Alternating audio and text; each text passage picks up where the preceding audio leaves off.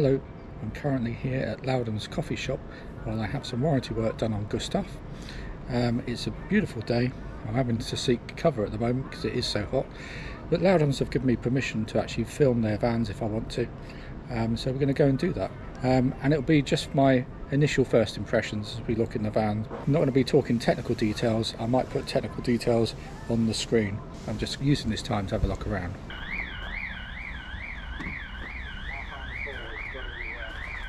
69 4.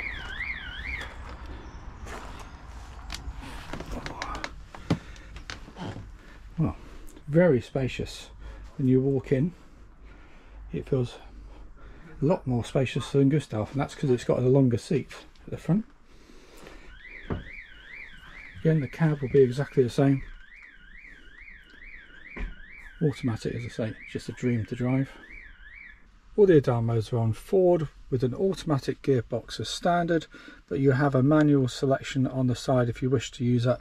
We've never had cause to, done it by mistake a few times by just hitting that. So you have park, reverse, neutral, drive and manual if you wish to use the paddles on the side. On the steering wheel you've got your cruise control, a limiter which I've never used, uh, that's for setting the speed. You can also move it up and down while you're driving, or if you've cancelled it because you're you're slowing up, if you just press the middle one, it gets you back up to whatever speed you were at before. And then you've got your volumes and mutes for the radio. Your controls over here for menus, which I'll show you in a moment.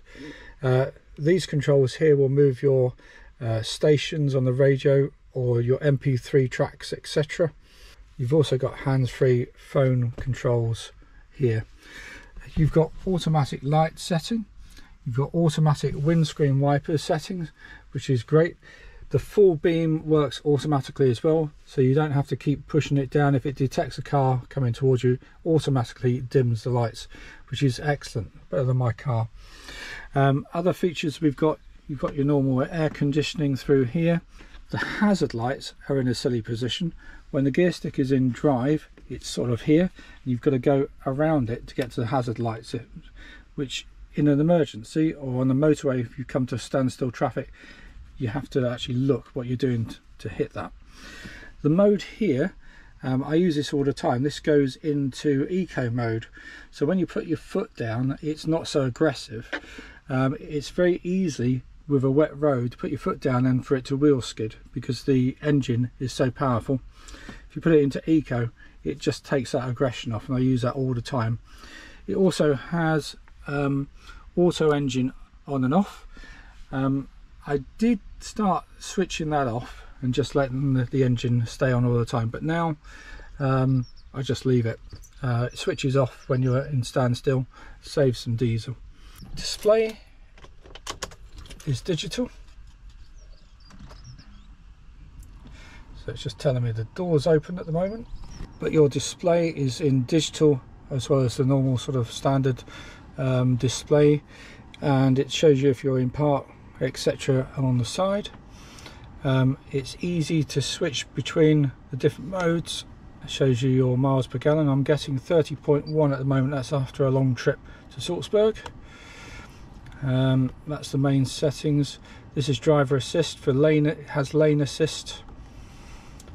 Um, and various different options. I don't, don't need to go into all those but if I press the menu button here then it goes into all the different displays and settings there. Everything else there is the same. But on this version it's more spacious because you've got a drop down bed which is up there and I'm not going to mess with that especially as people are outside. Space for TV. I'm presuming that that's the bed up and down there. Otherwise standard controls. It's nice, it's got oh, a mirror a cubby hole, that's nice. And a cubby hole down there, that's I like that. That looks like someone's added that on extra. Extra plugs, or is that standard? And they've plugged, oh, okay, the standard one's there. And they've put something there to hold the TV as well.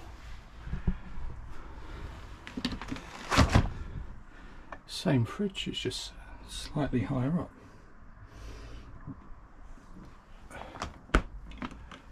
It looks like it's got a cupboard up there. So,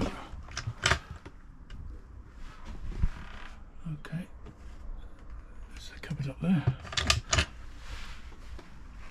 and the toilet area. Oh, that's nice. Lots of mirrors. Good sized shower. They, all the Adamos come with these twin drain holes so the water can drain away easier than on the single ones. A weakness we find is that bracket there, this tends to swing down if you're not careful after a few uses. Doors will come across.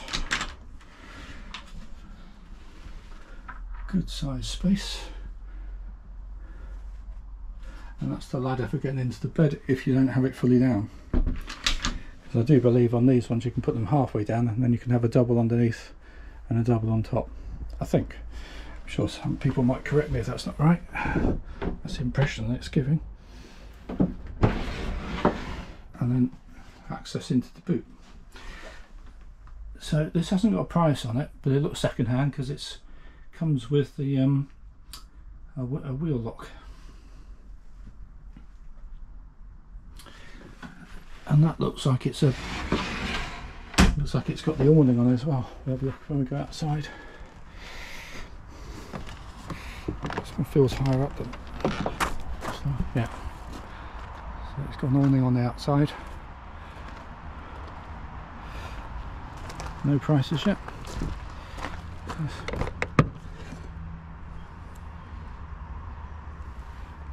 hmm. Is it, I'm not sure what that is. Is that an external gas? external gas.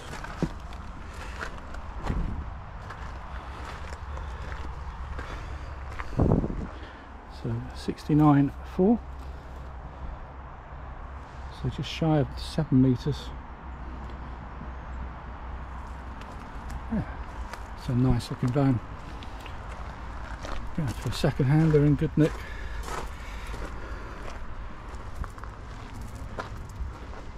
They've obviously been in the caravan club. Oh, and the camping club.